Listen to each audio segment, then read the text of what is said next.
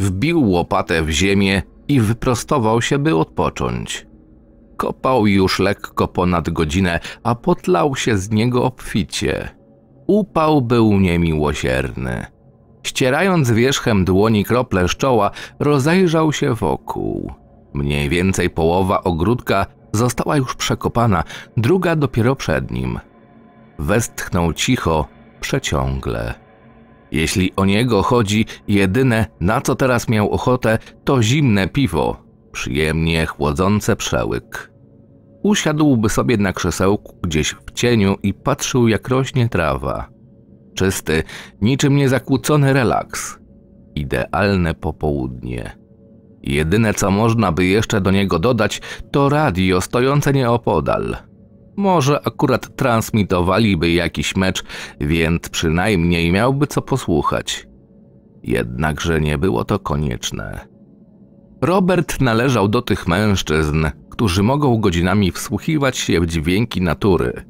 Śpiew ptaków, szum wiatru wśród bujnych koron drzew, koncertujące świerszcze. Tylko tyle wystarczyłoby mu do tego, by się zrelaksować, zapomnieć o zmartwieniach i o niczym nie myśleć. Jednakże nie dziś. Dziś nie dane mu było rozkoszować się urokami wiosny, delektując się chłodnym piwkiem z kufla, który idealnie wpasowywał się w jego dłoń. Pech chciał, że jakoś tydzień temu, który tak na marginesie był deszczowy, obiecał swojej żonie, że gdy tylko się rozpogodzi, przekopie przydomowy ogródek. Wiosna nabierała rumieńców, deszcze zdarzały się coraz rzadziej, a dni, w których słońce przyjemnie prażyło w kark, było coraz więcej. W zeszłym tygodniu nie mógł tego zrobić, a że była już pora sadzenia warzyw, musiał zakasać rękawy i wziąć się do roboty. Dlatego też, widząc smutną minę żony, wpatrującą się w smugi deszczu za oknem, podszedł do niej od tyłu, objął lekko w pasie i powiedział cicho, tuż przy jej uchu. Kochanie, obiecuję ci, że gdy tylko przestanie padać, przekopię pole, żebyś mogła już sobie powoli sadzić co tylko zechcesz. Marchewkę, koperek, rzodkiewkę, szczypiorek. Miejsca starczy ci na wszystko. Na twarzy Joanny pojawił się uśmiech. Odwróciła się do niego, obejmując go za szyję. Dziękuję, skarbie. Mam nadzieję, że ten deszcz w końcu się skończy, powiedziała i wyślizgnęła się z jego objęć, wychodząc z pokoju do kuchni. Ja też, mruknął Robert, obserwując, jak krople deszczu wpadają do kałuż, które rozlały się po całym ogródku. Ja też. Teraz, pięć dni później, opierając się o łopatę, z sercem boleśnie obijającym się o płuca, zaczynał powoli żałować swoich słów. Przez zimę jego boiler nieco zwiększył swoją objętość, ale nie aż tak, by stało się to uciążliwe. Aż do dziś sądził, że nie będzie mu to przeszkadzać w normalnym życiu. Jakie było jego zdziwienie, gdy po 30 minutach kopania zaczął dyszeć jak parowóz. Dopiero po dłuższej chwili, gdy nieco mu przeszło i mógł kontynuować pracę, jego oddech się ustabilizował, a płuca przyzwyczaiły się do zwiększonego wysiłku. Postanowił, że się nie podda i zrobi to, co obiecał swojej żonie. Chwycił więc łopatę i ponownie wbił w ziemię. Nie wiedział, czy użył za dużo siły, czy ziemia była w tym miejscu po prostu bardziej miękka.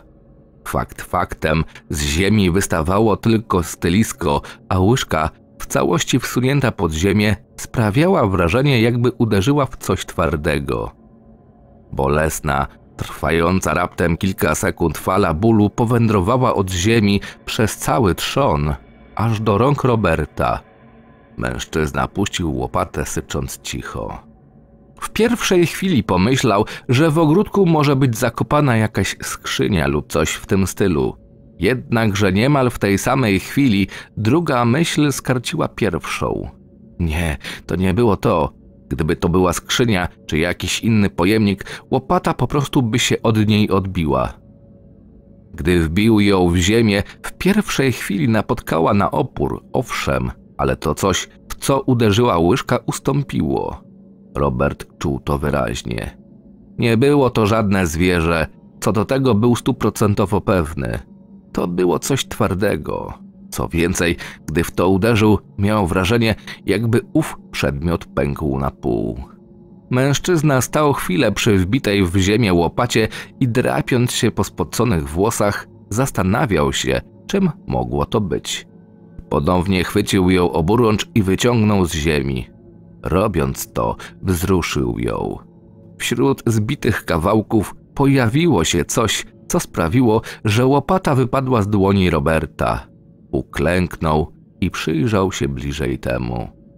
Rozgarnął palcami glebę i z miejsca wypełzły z niej grube, białe robaki. W jednej chwili zaschło mu w ustach. Skąd się tu wzięły? Przemknęło mu przez myśl. W niemym zaskoczeniu obserwował wijące się na wszystkie strony paskustwo. Były budowy pierścieniowatej, długie do 10 centymetrów. Robert bezwiednie przełknął ślinę i odsunął się nieco. Robaków z każdą chwilą pojawiało się więcej. Kilka z nich niebezpiecznie zbliżało się do jego lewej dłoni, którą się podpierał. Uniósł głowę i spojrzał przed siebie, ale tak naprawdę niewiele widział. Oczy rozszerzały mu się z przerażenia. W co tak naprawdę uderzyła łopata? To pytanie, które pojawiło się w jego umyśle znikąd, poraziło wszystkie inne procesy myślowe. Ogarnął go chwilowy paraliż, gdy próbował w jakiś racjonalny sposób wytłumaczyć sobie obecność paskudnych, białych robali w swoim ogródku. Nabrał powietrza w płuca z zamiarem zawołania żony, która przygotowywała obiad, ale w ostatniej chwili się powstrzymał. Nie będzie jej alarmował, jeszcze nie teraz. Skoro on tak się przeraził na widok tych larw, to co zrobi Joanna?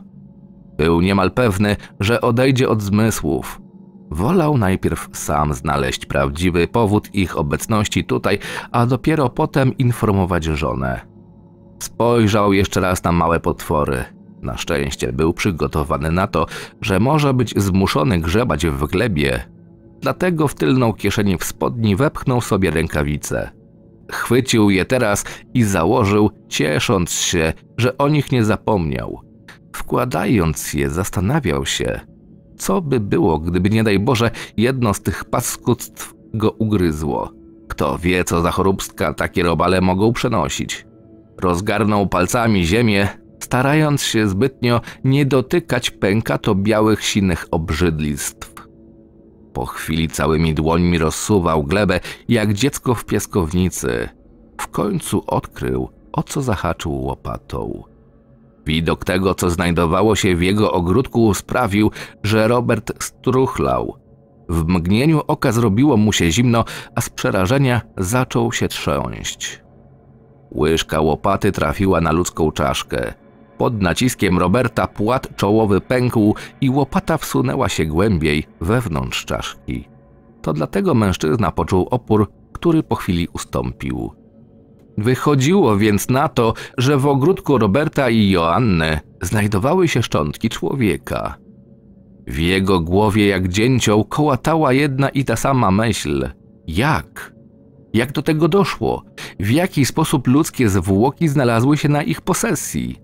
W zeszłym roku, gdy tak jak dziś przekopywał ziemię, nic takiego nie znalazł. Czy to możliwe, żeby w ciągu tego roku ktoś im je podrzucił? Tylko kto to mógł być i dlaczego? Umysł Roberta zasypała lawina pytań i domysłów. Gang? Mafia? Czy to możliwe? Z tego co się orientował, w ich okolicy, a mieszkali na wsi w domku jednorodzinnym, nie było żadnych gangów, a tym bardziej mafii. W sąsiednim mieście to też niezbyt prawdopodobne. Miasto było zbyt małe, by móc je podejrzewać o istnienie jakiejś solidniejszej, zorganizowanej grupy. Więc jak do tego doszło? Nie zastanawiając się zbytnio nad tym, co robi, postanowił skonsultować się z żoną. W chwili, gdy miał podnieść się z klęczek i unieść głowę, poczuł uderzenie tępym narzędziem w skroń. Przed oczami zatańczyły mu ciemne plamy, zachwiał się i runął w bok. Słońce świeciło mocno, postać, która go uderzyła, stanęła tuż obok Roberta, więc oślepiony i zszokowany nie był w stanie zobaczyć, kim jest napastnik. Jedną z rzeczy, na które był w stanie zwrócić uwagę, były dłonie. Nie wyglądały na spracowane, wręcz przeciwnie, były nad wyraz delikatne, o długich, smukłych palcach. W jego skołowanym umyśle pojawiła się dość absurdalna myśl. To była kobieta. W prawej dłoni trzymała młotek i to jego obuchem uderzyła Roberta. Cios, jak się okazało, był na tyle silny, że mężczyzna po chwili stracił przytomność. Gdy ponownie ją odzyskał, uświadomił sobie, że ktoś trzyma go pod ramię. Spróbował oddychać przez nos, a gdy to zrobił, dotarło do niego, że nie czuje damskich perfum, którymi zwykle pachniała Joanna. Czuł inne, męskie. Spróbował obrócić głowę i spojrzeć na mężczyznę, który wlókł go w stronę domu, ale tępa błyskawica bólu przeszyła mu umysł i jego świat ponownie spowiła czerni. Gdy mrok przed oczyma zaczynał się powoli rozjaśniać, do jego uszu dotarły stłumione głosy dwojga ludzi mężczyzny i kobiety. Żeński głos należał do Joanny. Robert był tego absolutnie pewien, natomiast ten drugi nie słyszał go wcześniej. Gdzie go zanieść? Usłyszał jak przez mgłę. Tutaj, do szopy, odparła Joanna. Przez otumaniony, zszokowany umysł Roberta przebiegła myśl, po co chcą mnie zanieść do szopy. Nim jednak zdążył ją przetrawić, usłyszał skrzypienie otwieranych drzwi. Chwilę potem mężczyzna, który go trzymał, zaciągnął go do pomieszczenia. Robert otworzył usta z zamiarem zaprotestowania, ale zanim zdążył wydać z siebie choćby mruknięcie, tajemniczy osobnik rzucił nim o ziemię. Bezwładne ciało całym swoim ciężarem runęło na glebę. Głowa męża Joanny odbiła się od betonowej podłogi jak piłka. Świadomość raz jeszcze go opuściła. Joanna podeszła do pomocnika.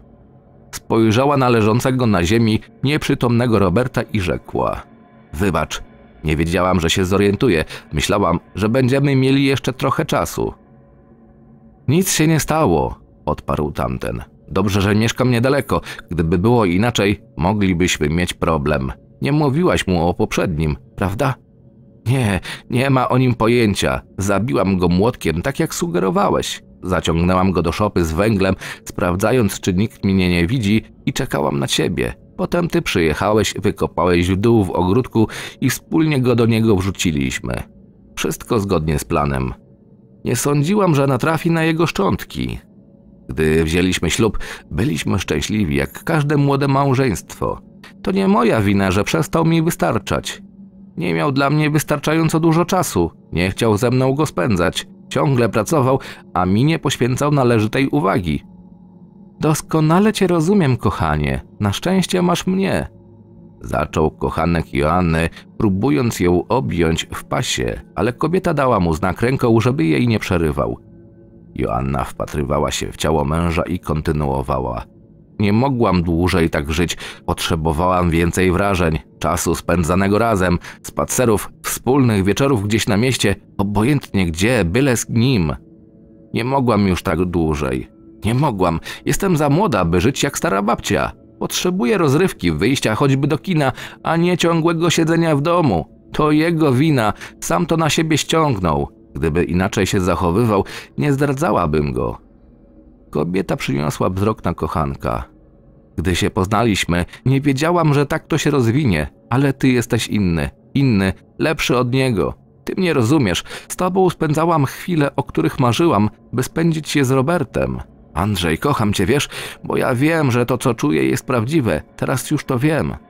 Andrzej spojrzał na Joannę. Widział w jej oczach, że to, co się dzieje, ma na nią duży wpływ, na to, kim była i kim się stała. Ja też cię kocham. Myślisz, że robił to celowo? Nie wiem, nie mam pojęcia. Wiem natomiast, że mam tego dość. Musiałam zareagować, gdy odkrył szczątki Tomasza. Nie chciałam, by zaczął wypytywać. Wprawdzie z Tomaszem nie wzięłam ślubu, ale byliśmy ze sobą dość długo. Później się rozstaliśmy. Poznałam Roberta, wzięliśmy ślub. Tomasz znów pojawił się w moim życiu. Gdy zaczynał być nachlany, wiesz, chodziło mu tylko o seks. Poznałam ciebie. Od razu wiedziałam, że jesteś inny i to ty uświadomiłeś mi, jak bardzo się myliłam, ponownie wpuszczając Tomasza do swojego życia. Dziękuję, że mi pomogłeś. Nie zrozumiałby. A Robert? Myślisz, że on by zrozumiał? Zapytał Andrzej. Nie wiem, jednakże wolę nie ryzykować. Nie chcę znów tego przechodzić. Dobij go proszę. Poczekamy do zmroku i wtedy go zakopiemy. I będziemy mogli już być razem. Na zawsze. To mówiąc, Joanna obróciła się twarzą w stronę Andrzeja i zarzuciła mu ręce na szyi. Ich wargi spotkały się w namiętnym pocałunku. Tymczasem leżący na ziemi Robert kilka chwil wcześniej odzyskał przytomność. Nie dał jednak po sobie tego poznać, leżał nieruchomo, a jego umysł z sekundy na sekundy się rozjaśniał. Zaczynał planować. Cofnął się nieco w przeszłość, raptem kilka dni. Nie pamiętał dokładnie, w jakich okolicznościach miało to miejsce, ale najważniejsze, że się stało. Otóż w trakcie majsterkowania młotek spadł mu na ziemię. Miał zamiar go podnieść, ale nim się schylił, niechcący trącił go stopą tak, że narzędzie wsunęło się pod szafkę, stojącą tuż przy wejściu do szopy. Szafka stała na nóżkach, od ziemi dzieliło ją niecałe 10 centymetrów, więc młotek swobodnie się pod nią zmieścił. Było już późno, a Robert nie miał zamiaru grzebać ręką w zakurzonym kącie. Wyprostował się więc i zostawił narzędzie pod szafką, obiecując sobie, że wyciągnie je przy następnej okazji. Okazji jak dotąd nie było. Deszczowa pogoda nie zachęcała do wystawienia nosa z domu, a co dopiero do majsterkowania na świeżym powietrzu. Jak się okazało, jego wcześniejsze lenistwo mogło w tej sytuacji ocalić mu życie. Powoli, ostrożnie uchylił lewą powiekę. Dostrzegł niewyraźne postaci Joanny i Drania, który odebrał mu żonę. Poczuł ukłucie w sercu i pierwsze zalążki dzikiego, prymitywnego gniewu. Spojrzał w lewo pod szafkę. Miał rację, młotek wciąż tam tkwił. Nie był głęboko, tuż za krawędzią drzwiczek. Niemożliwym byłoby dostrzeżenie go, pochylając się przy meblu, ale za to dosięgnięcie go leżąc na ziemi tuż obok szafki. Tak, to miało szansę się udać. Jedyne co musi zrobić, to nie dać się zauważyć. Musi pochwycić młotek tak, by ani Joanna, ani jej kochanek tego nie spostrzegli. Robert czekał, modląc się, by choć na chwilę coś odwróciło ich uwagę, gdy nagle jego modlitwy zostały wysłuchane. Joanna obróciła się twarzą do tamtego łajdaka i zaczęli się całować. Teraz to jedyna szansa, przemknęło Robertowi przez głowę. Przesunął lewą rękę i poczuł, jak jego palce obejmują drewniany uchwyt młotka. Zacisnął na nim dłoń i z powrotem przysunął ją do ciała. Otworzył oczy i zaczął się podnosić. Nie spuszczał z nich wzroku, przełożył młotek do prawej ręki i wyprostował się, stając raptem dwa kroki od kochanków. Jego twarz nie wyrażała żadnych emocji. Joanna usłyszała szelest ubrania i odkleiła się od Andrzeja. Spojrzała zdumiona na Roberta, a potem na mężczyznę obok. Cześć, powiedziała, rumieniąc się na twarzy. Już się obudziłeś? Robert nie odrzekł ani słowa, wpatrując się morderczym wzrokiem w kochanka żony. Mężczyzna spojrzał na kobietę i zrozumiał, czego od niego oczekuje. Nagłym ruchem uniósł nogę, próbując trafić nią męża Joanny w klatkę piersiową i zwalić go z nóg. Niestety, szalona wściekłość w Robercie osiągnęła alarmujący poziom i był przygotowany na atak Andrzeja. Machnął młotkiem, trafiając obuchem w stopę mężczyzny. Noga odskoczyła na bok, a ten syknął z bólu. Robert rzucił się do ataku, pochylił się i barkiem trafił Andrzeja w pierś. Uderzony zachwiał się i cofnął kilka metrów do tyłu, wychodząc z szopy na podwórko. Przerażona Joanna też się cofnęła, nie będąc w stanie wykrztusić słowa. Potężny prawy sierpowy trafił w brzuch Andrzeja, aż zgiął się w pół, chaotycznie próbując złapać oddech. Nim zdążył cokolwiek zrobić, poczuł jak w jego żuchwę uderza młotek. Poczuł przeraźliwy, promieniujący na całą szczękę, a potem głowę ból, przypominający oślepiające jaskrawo białe błyskawice. Siła ciosu odrzuciła mu głowę na bok, tak że stracił równowagę i runął na plecy. Oddychający przez zaciśnięte zęby Robert spojrzał na Joannę. Dla niego? Dla tego psiego zwisu? Zamierzałaś mnie zabić dla tego kawałka gówna? Warknął, nie spuszczając z niej wzroku. Andrzej doszedł do siebie i próbował się podnieść, ale Robert doskoczył do niego i usiadł mu na brzuchu, przygniatając z powrotem do ziemi. Przełożył młotek ponownie do lewej dłoni, a prawą uniósł i zacisnął w pięść. Nim zadał pierwszy cios, spojrzał w oczy Andrzeja. Dostrzegł w nich strach, głęboko skrywany, podszyty paniką strach. Świadomość tego, że jest przerażony, sprawiła, że jego gniew wezbrał jeszcze bardziej. Z impetem opuścił pięść, trafiając mężczyznę w szczękę. Głowa uderzyła o betonową ziemię i odbiła się od niej, obracając się bezwładnie na bok. Po chwili spadł drugi cios, potem kolejny i kolejny. Jeszcze jeden. Joanna, widząc furię męża i to, że jego pięść zaczyna pokrywać się krwią, skoczyła i obejmując go na wysokości klatki piersiowej, próbowała odciągnąć od Andrzeja. Robert, przestań, nie rób tego! Zabijesz go! Mąż spojrzał przez ramię i pozwolił się odciągnąć. Podniósł się powoli i odwrócił twarzą do żony. Joanna skoliła się ze strachu, widząc ponownie żądzę mordu w oczach męża. Zostaw mnie, powiedział cicho, dobitnie. Jeszcze nie skończyłem. Joanna spróbowała załagodzić sytuację. Robert, nie możesz, daj mi młotek! Skulona ze strachu wyciągnęła ręce w stronę narzędzia, które nadal tkwiło w lewej ręce mężczyzny.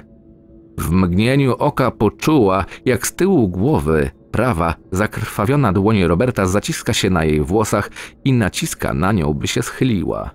Zaskoczona ustąpiła, a wtedy poczuła silny, zwalający z nóg cios kolanem w przeponę.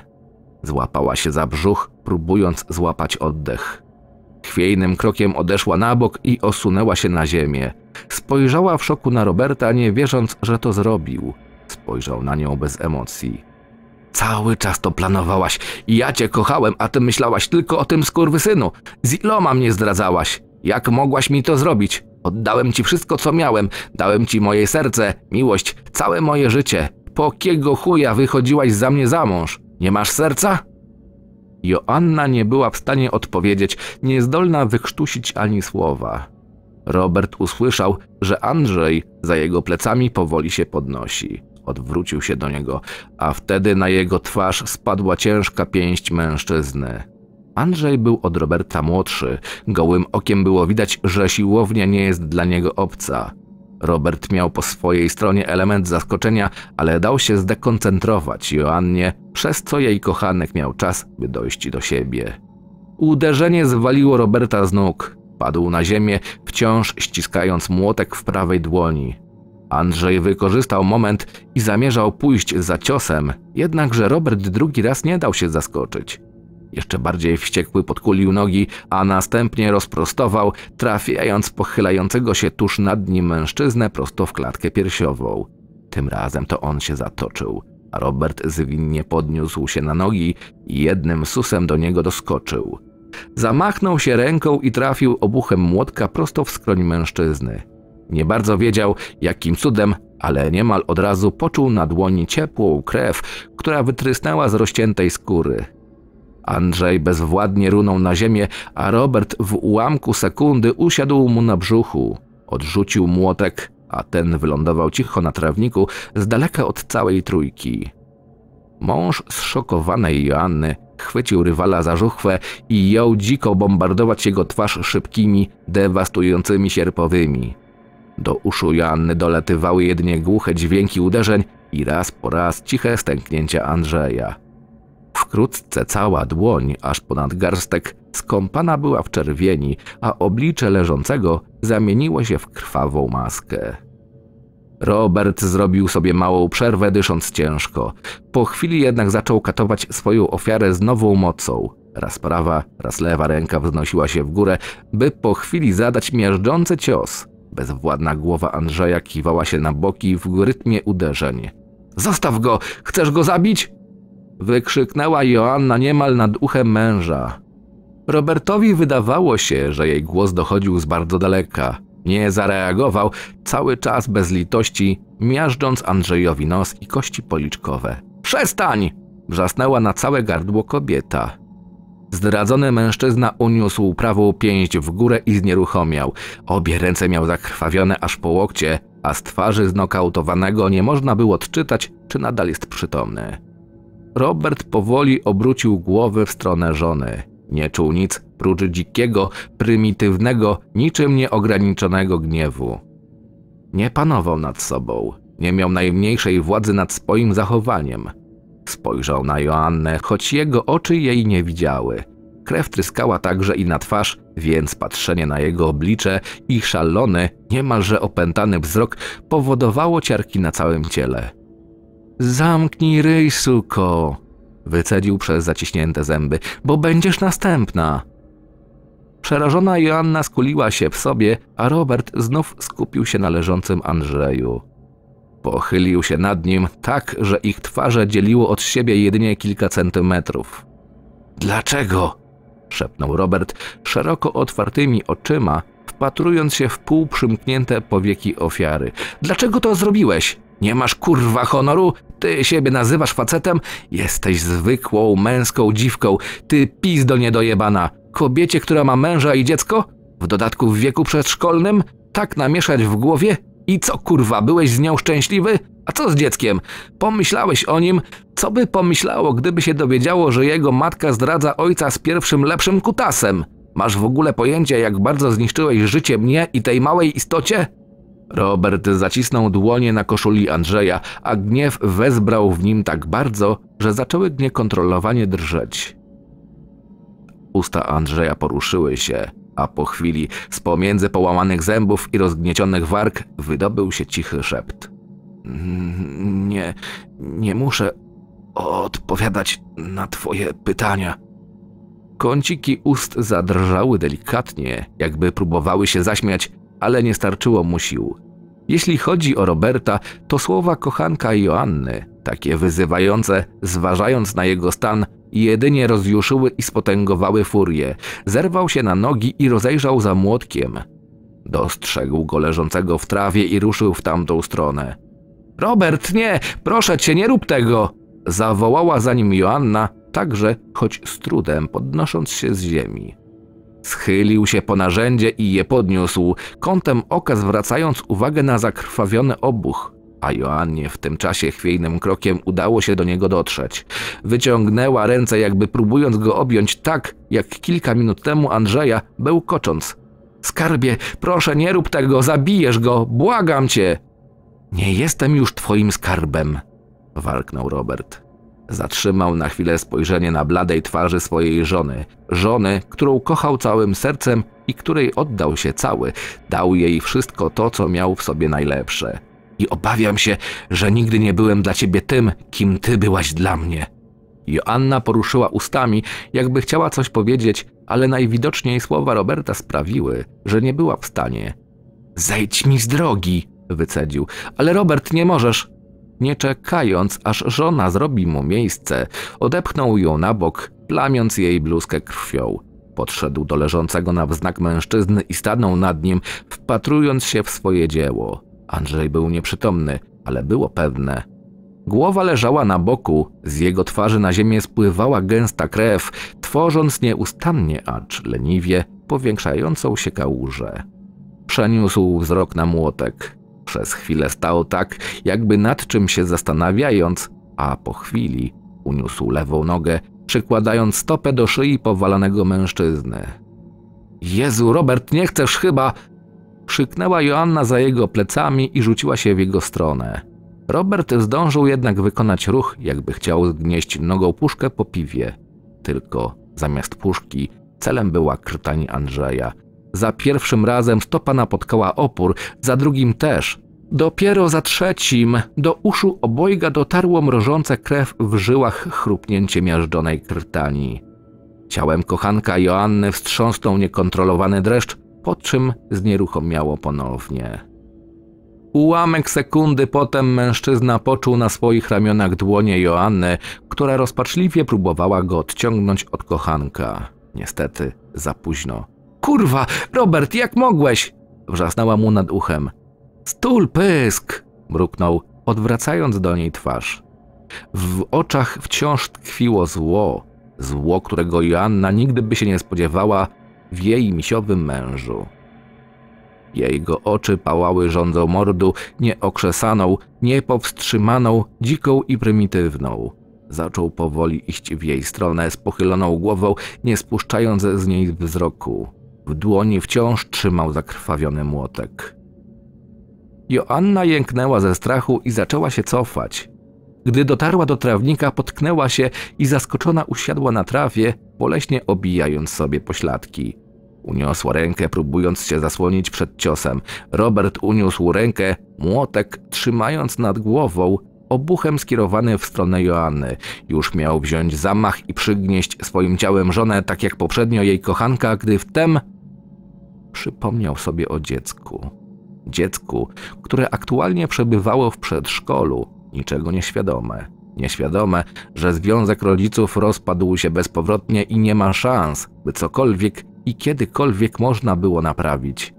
Nieświadome tego, że ojciec będzie musiał zniknąć z jego życia i że prawdopodobnie już nigdy się nie zobaczą. Robert już nigdy go nie przytuli, nie wysłucha i nie usłyszy jego głosu czy śmiechu. Jednocześnie przez umysł mężczyzny przeleciały setki wspomnień, wspólnych wspomnień spędzanych razem chwil, nie tylko z owocem ich miłości, ale i z samą Joanną. Faktem było, że odmieniła jego życie i mimo, że nie darzyła go w pełni tym, czym on darzył ją, to i tak przez krótki czas był najszczęśliwszym mężczyzną na ziemi.